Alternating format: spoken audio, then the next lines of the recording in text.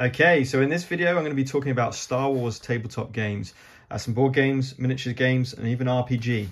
They're all from Fantasy Flight. Some are still in print, some are out of print now and not producing any more content. Not out of print as such, actually. They, you still can get hold of them. Um, uh, but some are certainly not being produced anymore. Um, some have changed hands and lots of different things have happened. So I'll talk about each one and uh, what I think about each of those board games as we go through. Okay, uh, now a little bit about me. I am a Star Wars fan. I have been for for most of my life, and um, some of these games really encapsulate the idea of Star Wars in slightly different ways. Now I'm going to start this conversation with this game here, Star Wars Rebellion. Now, Star Wars Rebellion is literally the Star Wars original trilogy in a box. Um, you're playing as the Imperial and the Rebels, and it really encapsulates that really epic conflict between the two, as it says on the box. It is a very long game, but man, is it good. You're um, as the Empire, you're building loads and loads of industry um, to try and search out and destroy the rebels' hidden base. Now, this is not the hidden base, of course. Uh, the hidden base is off the board. As you go through, and the map is about four times the size of this. Uh, so it's a big old map showing all of the star systems uh, that we know from the films and canon. And you're as the Empire, you're going around, you're using your different characters to go and do missions or to send the fleet to different areas, start combat with uh, space combat. You're taking ground units, you're doing ground combat. But as the rebels, and this is the beauty of this game, you decide on a hidden location for your base but then you do these little skirmish missions, just like the rebels do. You know, they haven't got the resources that the Empire has. So they've got to disrupt them as best they can, destroying um, different types of ship or industry, uh, or, or, or getting people loyal to the rebels and for their cause. So you're doing all of these missions as the rebels. Um, and sometimes you're going for a little fight. And yes, it's got the classic story story beats of the films. Uh, you've got Frozen in Carbonite, you've got Boba Fett trying to capture people. May not be Han Solo this time, you might go and capture uh, Admiral Ackbar, for example. Um, uh, you can turn people to the dark side. Um, You've got uh, the Death Star. You can blow up the Death Star. It's extremely hard. It's effectively indestructible, apart from the exhaust port, which is one of the um, Rebels' objectives. So they could get that, and on a very, very limited number of things that you have to do, uh, you might possibly get that, uh, blow up that Death Star, get more uh, towards you, and get you closer to that victory as a Rebel player. Uh, the Empire literally trying to find the uh, Rebel base and destroy it before the time runs out. It's so, so good. And every single time I play this game, it's about four hours long.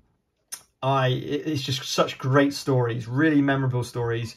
And um, if you enjoy Star Wars at all, this is my top recommendation to purchase.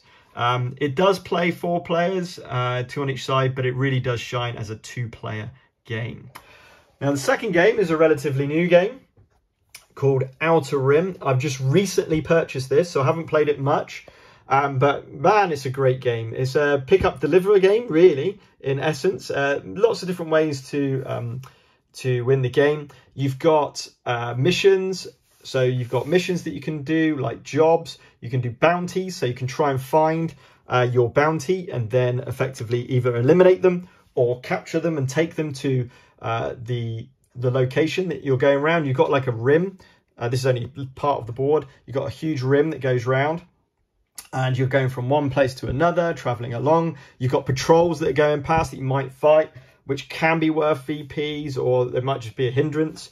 You've got loyalties to the, the Hutts, the Syndicate, Imperial and Rebel, which change as you go through the, the game. It might change what happens with certain jobs, whatever it might be. You're carrying cargo. There's illegal cargo that you can go as well. You can get buy new ships. So this is one of the, obviously the Slave One. This is one of the uh, later ships, the more expensive ships. You start with a starter ship where you got different movement, attack, and um, shield um, values. And you've got all these, um, what do you call them? You've got all these personal goals. So you've got a personal goal. You choose your your your uh, bounty hunter or smuggler, and then you've got these goals. It's the same with the ships. Uh, you get ship, you got ship goal, and you're always trying to get fame. The first person to 10 fame wins the game. So that's what you're trying to do with that. You hire crew, you get different crew. So it's got all the characters from Star Wars that we love. And it's a really, really nice game. Um, it works really well. It also plays solo, which is great um, for just learning the game and so forth. So I'm going to move from Outer Rim to a very popular game, uh, which is a tabletop miniatures game. So going away from board games and going on to tabletop miniature game just for this one time. This is Star Wars Legion, and this is the Clone Wars expand uh, core set. Um, and it comes with these uh, these beautiful miniatures, if you don't mind painting. Uh, you'll notice that uh, the vast majority of my miniatures have been painted, of course. So if you look at my Rebellion uh, miniatures and in a bit, Imperial Assault. Um, so I've started painting these. I've got this relatively recently probably something I won't get straight in, get massively into because I've got so many games that I'm quite big into. Um, but it's it's really it's, it's, it's, a nice kind of streamlined tabletop miniatures game. Um, it's it's quite big scale again, uh, where you're moving, but you're moving units rather than individual figures. I think that makes a big difference uh, to speed up gameplay, which a lot of tabletop miniature games you have to do miniature by miniature. Um, it uses, it, as with all Fantasy Flight games, it uses custom dice, it uses uh, custom measurement and all the rest of it. So it's so do bear that in mind with all Fantasy Flight games. They're not like just grab some D6 and then you can play the game. It, you have to get the necessary components. Um, but obviously, tons of expansions for this. It's got the original core set you can get if you want the classic Empire and Rebel Alliance, um, and all the characters from that. Um, really nice miniatures in this one and Atomic Mass Games have taken over uh, Fantasy Flight's miniature department now, uh, including X-Wing and uh, Star Wars Legion, and one that I don't have, uh, which is Armada. Um, so expect the quality of the miniatures to only get better um, from them. But yeah, Legion, I haven't played it much, uh, but it's, it's one I will start to play a lot more. Uh, I plan to. it just it it, it's very it seems very streamlined uh, in the kind of demos that I've played. Um, and I'm looking forward to playing that more. So that's Star Wars Legion. Obviously, a lot more money to be put into that. Uh, that should be said for these. Rebellion has got an expansion, uh, which ties on to Rogue One, uh, kind of expansion. If, if, you want it, you don't have to have it to play. So you're just buying that one game. Same with Outer Rim. It's one game, one buy there may be expansions coming out for that. Legion, now we're going to differences from the next few games where there are many, many expansions, of course. Um, building your army, different armies, all costs a fair amount of money. And of course, you know, a big part of this is the hobby as well for Star Wars Legion. Do you enjoy um, man, um, uh, assembling miniatures, painting miniatures? Uh, is that is that side of things what you want to get into? Then this is a great Star Wars uh, game, and I wanted to go for Clone Wars because it was more of a more of a tabletop battle uh, than what I felt was Rebel Alliance. I didn't feel that Rebel Alliance really are big skirmish battles. You know, uh, I thought this would be more fitting the Clone Wars. X-Wing's the other one I've just dabbled in. I've got to be honest, I don't play this much. Um, but if you like ship combat, like dogfighting, then X-Wing's fantastic. They have released the 2, uh, the rules 2.0. Um, so if you buy this now, you'll get the updated rules, which have changed a few things. This is the 1.0 um, edition. So I, I, I, haven't played, if I'm being honest, I haven't played X-Wing for a very long time. I just like the ships. Uh, you got like Slave 1 here, for example, all pre-painted, must be said. Okay, so these are all pre-painted. So you get them in um, glorious detail, and that's a massive positive adds the price up a little bit more, um, but fantastic. And you got things like your classic X-Wing. I mean, how can you not love that? Uh, it's fantastic. And then you've got different characters. You've got the classic characters like Luke Skywalker, but then you've got some other uh, ones. You, you've got campaign modes. Uh, there's just a ton of content for this. A huge scene for X-Wing miniatures game, as well as Legion. A huge scene around the world for these games. Um, but yeah, a really nice using um, templates, measurement templates. You dial in your move you're going to make preempt move that you're going to make um, at the start of the round, and then you reveal those, and, and, then you go through depending on their initiative, on their numbers up here, um, and then they move and then they attack, and then you go through that. So it's a very popular game. Um, it is a nice game. I just don't play it much at all, to be honest. Um, but definitely worth it. And the, of course, the other one from this is Armada, which is X-Wings, but on the bigger scale, on the galactic scale. So you've got the capital ships and so forth. I hear that's better than X-Wing, and uh, it, I'm I'm I'm very skeptical about trying it because I don't want to get into another game, to be honest. Imperial Assault. Now, this is one of my favourites. Uh, it's got a special part, place in my heart. I, I really do enjoy this game. This is a miniature ground battle game, okay? Uh, it's based on a campaign game, but it's also a tactical miniatures game. And I played I played the tactical miniature game uh, quite a bit, uh, where you build up a team with combat cards, and it's one v one on a map, uh, one squad against one squad, um, trying to uh, hit objectives on that. And it's it's I loved. I actually really liked that. I thought it was a little bit like a tabletop miniatures game, but on a board game, and it I loved it, but they've they've not really followed that through. The community has actually picked it up now, and in the UK Games Expo, I did actually notice that they were running a tournament for the crowd produced or, or fan produced uh, rule set of uh, Imperial Assault. But the campaigns that you get in this, and I've literally got everything for this game. This is a classic Fantasy Flight thing where you buy the core set, and then to get all the special characters, to get new worlds and all the rest of it, you pay for expansion boxes, expansion boxes, more expansion boxes, and then suddenly hundreds of hundred pounds later, you've got a huge number of miniatures. So in this game, you play um, not famous um, characters, so these made up characters, but you've got like Luke Skywalkers and you've got the classic um, characters in the game as well, as well as stormtroopers, the um, uh, the droids, probe droids, uh, Darth Vader, of course, and everything else. It uses uh, custom dice as per always, but I really like the custom dice effect of it. It's a really, really nice game. Um, that, you know, as I, as I keep getting new games and we play new more new games, this one kind of gets left behind. But I always like to get it out every so often and play it again you, with the introduction of the app, which is still still supported by Fancy Flight Games. Uh, you can play it solo. Um, you can play it co-op uh, rather than the way it is played, which is one player versus all. Say one player plays the Empire, and then all the other players, up to four, play the uh, heroes. Really nice game. The miniatures are great, really, for um, for how old the game is. For number one, and um, they're um, single mold, obviously. Um, but yeah, they're really nice miniatures.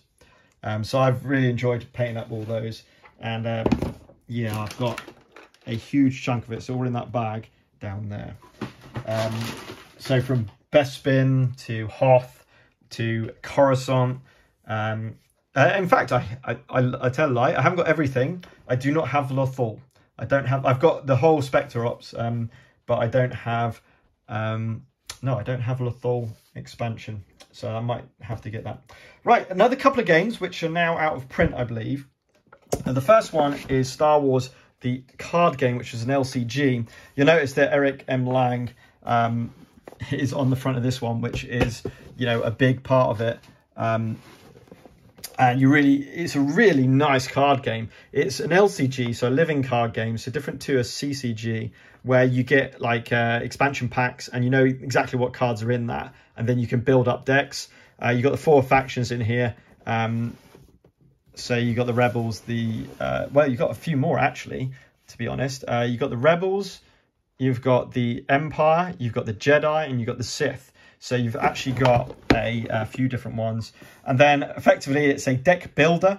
So you're uh, building your deck before you do um, missions, and then there's objectives that you've got an objective deck um, that you're trying to take out from the other opponent, and then um, you've got your character cards, support cards, and all the rest of that, just like most deck builders or card games.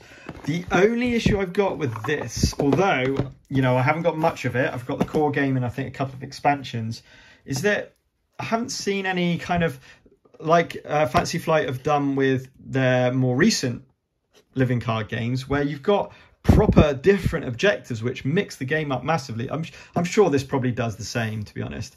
Um, but yeah, Lord of the Rings and uh, Marvel Champions have certainly mixed things up when they come out with new expansions. They really mix up the objectives. So rather than five cards just showing the objectives, they're changing the game completely and how you play it, which I really, really appreciate.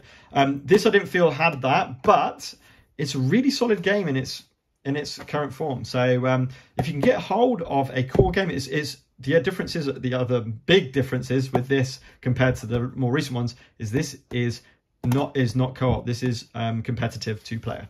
So you're actually playing one against each other, okay? Um, whereas Arkham Horror and all the rest of it are all, of course, co-op. So if you're interested in a competitive kind of LCG, you can still buy some some of this stuff on online and uh, you know um, seconds market or whatever. Uh, I highly recommend trying to get a core copy. Um, it's a really really nice game. Okay, and then the final game I wanted to talk about in the Star Wars FFG universe where is it? Is I should have really um there is was their RPG. Okay, their Star Wars role playing.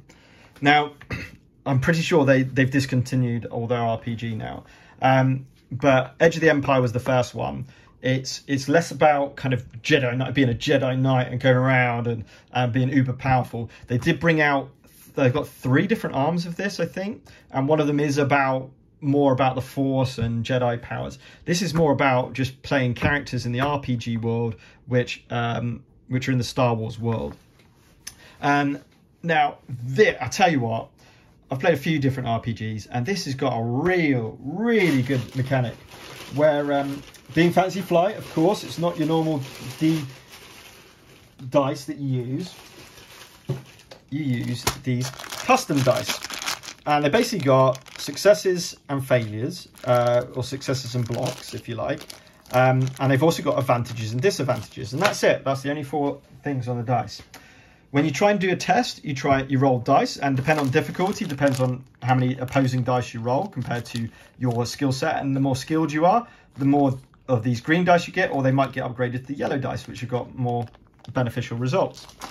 If you have more successes than failures, you pass, but you might pass with disadvantage or advantage. And what this lends itself to is, is pure narrative play with all of your dice roll. It's so cool. Um, so you try and do a test, you roll the dice off, depending on the results, you, you basically ask the players to describe what happens and then you can tweak it depending as as the games master, depending on um, wh- whether the results would make that or not. And there's like crits in there as well, so you might get a crit. You can only get that on the yellow dice, for example. It's that symbol there. It's this symbol here.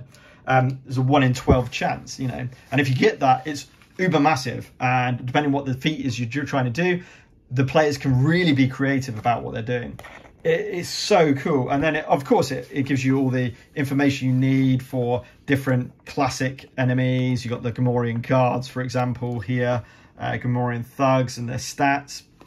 You've got space combat, uh, which which and it comes the core set. The core set box came with little tokens and stuff, which was really cool. Um, and they did so starship combat. You have different positions in your starship. Uh, some can be gunners, some can be pilots, and you, you're still using these dice to do all of the all of the play. Um, but yeah, real fantastic. So, you know, if you like Star Wars and you like RPGs, you know, this might be worth trying to get a copy of. I, I, think there are other Star Wars RPGs out there, but this is real simple.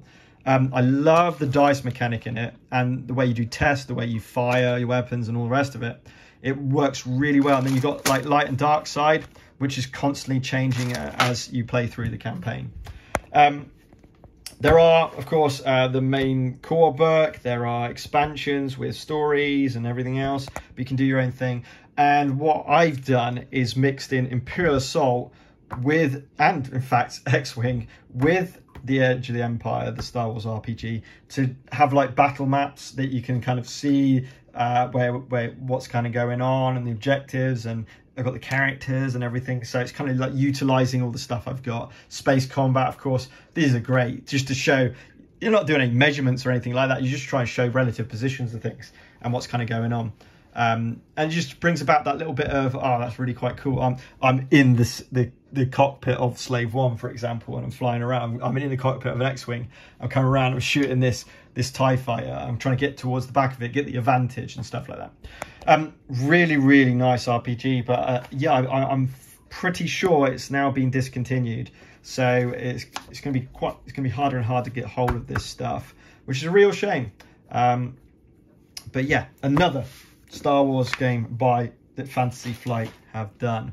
Um, expect to see more stuff from Fantasy Flight and Star Wars. I think we'll see a much more from Outer Rim. I think we might see some expansions um, from that because we've got like the core. I don't know how many characters are in it. Um, but you've got the core characters, core ships, but perhaps they'll move that on to just expand it.